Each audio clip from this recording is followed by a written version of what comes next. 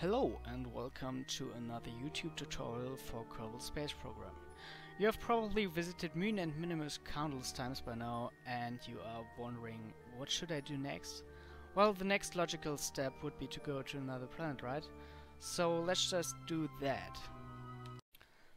The most important thing to make an interplanetary ejection is to know your right phase angle. For this to work, I would suggest you checking out this website. It's called ksp.olex.biz and it has this neat little feature. It's called transfer calculator and you just have to enter your origin, your destination and your parking orbit which is 100 kilometers from me.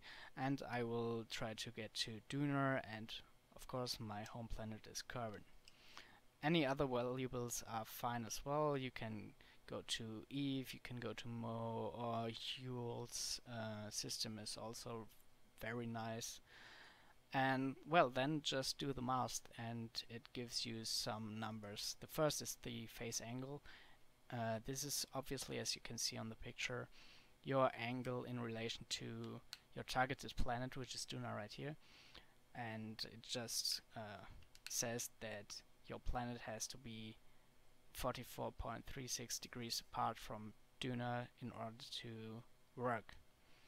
Uh, you don't have to match these angles on point. You can also uh, eyeball them, it really works, but I suggest you are working with uh, Kerbal Engineer Redux, which I use as well to make this video and you will just uh, see that in a moment, so hang on. Now the next thing is the ejection angle, which is 150.91 degrees for us. And this just tells us that we have to have a um, ejection angle of 150 degrees in relation to Kerbin's prograde vector. So this is, as you can see, Kerbin. Then you just scroll out to see where your prograde vector is, and you burn at 150 degrees. Again, this uh, doesn't have to be very precise, you will just have to burn a little bit more of delta V uh, when you are not that precise. But it shouldn't bother you too much if you don't get it on point. So ejection velocity, of course, um, this number added to your orbit orbital velocity and your ejection burn, the delta V you need to get from low Kerbal or Kerbin orbit to Duna is uh, 1043 meters per second at least. So you will have to burn this number to get to Duna, or rather to get an interception with Duna. As you have seen on the side, our phase angle has to be at 44 degrees and you can totally see this is not the point at all. When we rendezvous with Duna right here, it gives you... Oh, this is basically just uh, Kerbal Engineer Redux I'm using right here and the rendezvous option. So this gives us a intercept angle of 89 degrees in relation to Duna and we can either just speed up but I'm in a low orbit so that will take a lot of time. Or we go to the space center speed it up there. I'm just showing you how this works. Second because from the space center you are not bound to time uh, li to limitations in time travel so we can do it way fa uh, way faster here. But you also notice that this also takes a lot of time. Well when you're playing carrier you will have to sit it out but I don't have to because oh one second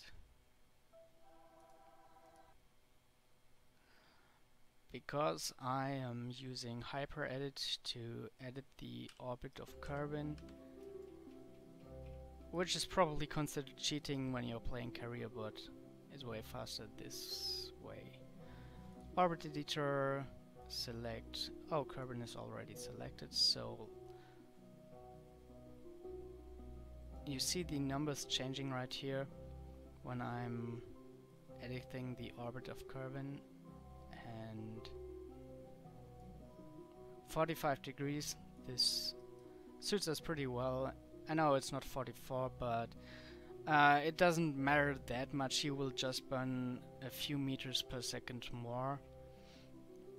So you see the the huge orbit around Kerbal and you had this 150 degrees of your uh, ejection burn. And our ship is just in orbit around Kerbin so this gives us the prograde vector and this is the retrograde. And in relation to that we have to get to somewhere around 150 degrees. So we are pretty close to that actually. It should be around here or something. And when we are pulling our prograde vector now whoops. We should have we almost have a rendezvous with our planet target planet. So we're just playing around with the uh, radial and anti-radial maneuver nodes. And you see we have our encounter which is pretty solid at this point. So we are burning 1000 uh, 1050 meters per second to get our encounter and let's just do that right now or rather in 30 minutes. Ah this takes too long. Orbit editor, select active vessel, scroll in, and change longitude.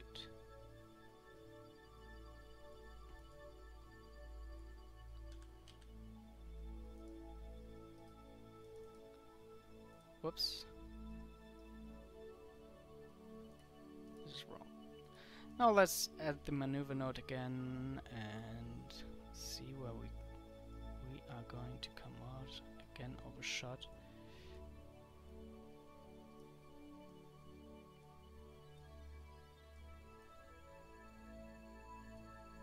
We go, we have our maneuver. You see, um, because I've changed the maneuver node to not exactly 150 degrees, so we have to burn like 23 uh, meters per second more, but that shouldn't bother us too much, I guess. So let's just start our burn.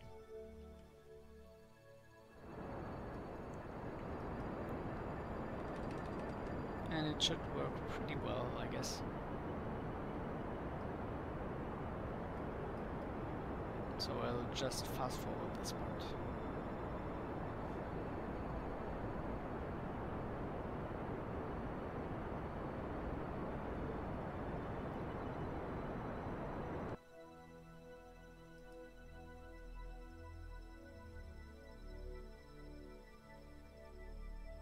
Or maybe I'm not. Uh, you can see our orbit is rising over here. And we have burned half of our ejection burn.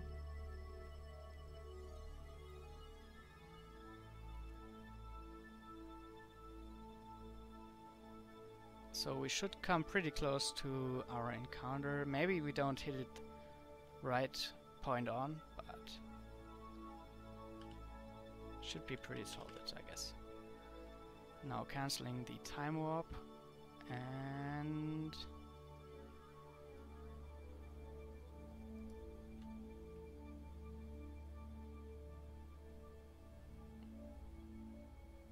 there we go. We have our encounter. It's not perfect because you can see the uh, orbits are not probably uh, properly lined up and you will probably have to burn a little bit more delta V to get into Duna's orbit. Uh, so you better make sure that your uh, Hohmann transfer gets you to the same orbit as your targeted planet. So we should lower our apoaps over here just a little bit, but that shouldn't bother us too much, right? So I guess this should be fine. On to the next part. We are now in orbit around Minmus and we still want to get to Duna but you will see that when I'm launching 150 degrees from Duna I will probably not get my encounter or maybe I do well that's just just shouldn't be so easy I guess whatever, we are pretending that it doesn't work right now. And the website also can't calculate on how to get from Minmus to Duna. So what we are doing right now is we are looking at more than one orbit because our ship has an orbit around Minmus and Minmus has an orbit around Kerbin which has an orbit around the Sun, so we have three orbits to monitor. The first thing is what is going to happen if we burn at a specific time. Now you can see here the prograde vector from Kerbin is over here, the retrograde is over here, and obviously when we burn prograde we will um, raise our apoaps so the orbit should go over here like this. And when we burn retrograde in relation to Kerbin our orbit will change to there for example now we have to look where Minmus is in relation to Kerbin so when we are uh, burning over here, I mean, uh, we are always have to burn prograde, first things first. Always have to burn prograde because when we are burning retrograde, we will lose our orbit around our uh, parent body, right? So we are burning prograde. But the thing is where we uh, are going to do that when we are burning prograde over here, we are burning retrograde in relation to Kerbin, so we will uh, just lower our overall orbit, as you can see right here. But when we are burning prograde over here, we will raise our orbit because we are burning prograde in relation to Kerbin, or in relation to Kerbin's orbit. Now, the best thing would, of course, be to burn over here when our ship orbits over here to get the most of our burn. So let's just see what happens when we we are going to burn over here. Orbit editor, select minmus, uh, make this graphic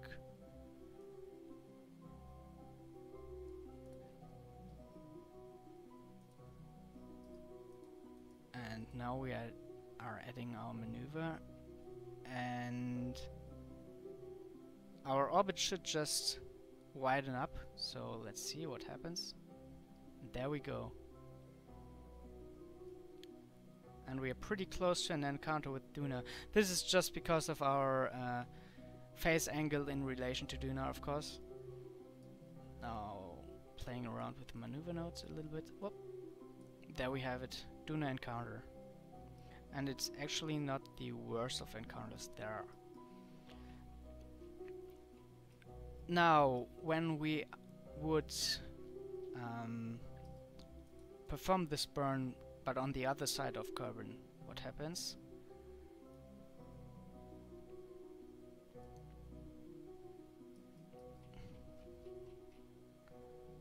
Now, for the same spot,